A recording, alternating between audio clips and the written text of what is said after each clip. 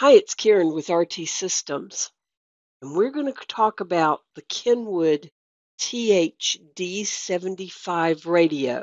And this video may seem really late to the game, but I had a customer that so struggled with this the other day. I felt so bad for him, and I just want to show it to you so you know what to do and what can help you and which route might be easier for you. So, the Kenwood THD 75.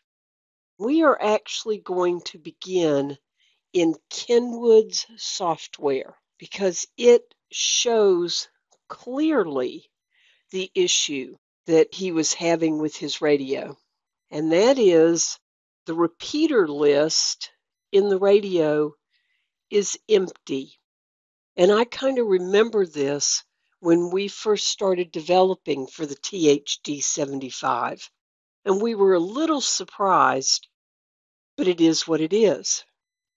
What he was doing was let's go to Kenwood's website. You'll go to Kenwood Amateur You'll pick the D75. This is quite a path, so pay attention. You'll click Support. Scroll down Amateur Radio Products Software Downloads. Then scroll down because you are in the master list. So I'm looking for the THD75, D75, D star repeater list. This file is specifically designed to be imported through the Kenwood software. This file cannot be imported into the RT system software. I've looked at it without a great deal of manipulation. It won't import, but we'll address that here in just a minute.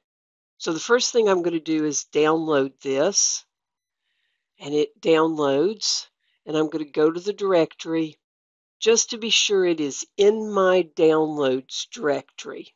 And if you want to take this route, but what was strange about this call was he had the RT system software and he had the Kenwood software, but he was determined to take this route. So I was determined to help him. So we're going to import repeater list from file and it's in my downloads directory and here's the repeater list and open and it asks me which one I have and I tell it okay and there's my repeater list. The thing is if you study the data in this file it is not only the repeater list it's these group names it's a lot of other things. It's latitude and longitude broken down into three separate pieces. And that's why I say it cannot be imported into the RT system software.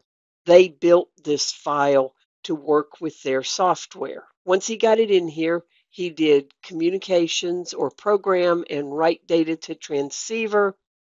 And this then was in his radio. Now, Let's do a comparison. Here is the RT system software for the same radio. Yeah, you get a new radio and you have no memory channels, but you have DR memories. This list and the list we just imported to the Kenwood software are identical. We did the creation for you we took care of the repeater list, if that's what you want to call it. It's traditionally been called DR memories. We took care of the bank names that were in that file. We filled them in automatically for you. We took care of the your call signs. I was just looking at the software the Kenwood software.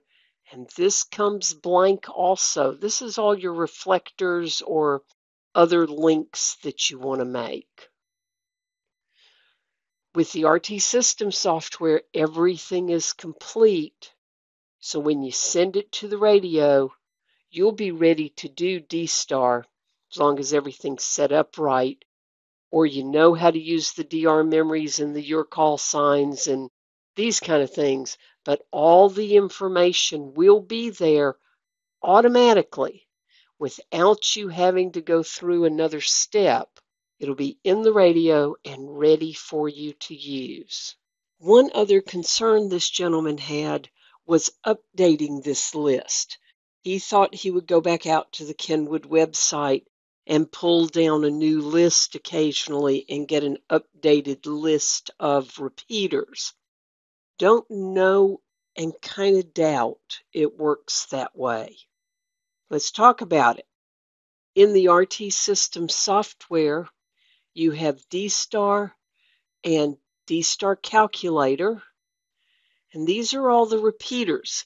This list is kept up to date about every two to three months. And if you want something different in this list, and we recommend this highly, unless you travel all over the world, you're not going to use these. So let me make it so you can see well what it's going to do. That was a control A and a control X to make them all go away. They are all gone. D-Star, D-Star calculator. Now, I live in the southeast and I want all the repeaters for this area because this is where I'm going to travel and I'm going to apply. I now have a fresh list, one that was pulled from a data source. We actually use Repeater Book for this data source not more than six weeks ago. So you talk about new repeaters talk about repeaters that should work for me when I'm near them. Because, of course, with DR memories, I have to be able to hit this repeater to use in conjunction with the your call signs to link to a reflector and then talk on that reflector through that repeater. But this is a fresh list of repeaters that will be usable for me because I travel around the Southeast customize this list. It may only have two or three repeaters in it because those are the ones you use all the time. But working through DR memories, you can go to any reflector you want. You and your friend can go off to some odd reflector and have a private conversation. It would be wonderful. So keep that in mind. It's easy to do in the RT system software and you can have that radio set up the way you want it so it performs well for you. So keep that in mind. It's two ways to get the same thing done. Now you see, you have choices. So this is Karen. And remember, if you think you can or you think you can't, you're right. 73s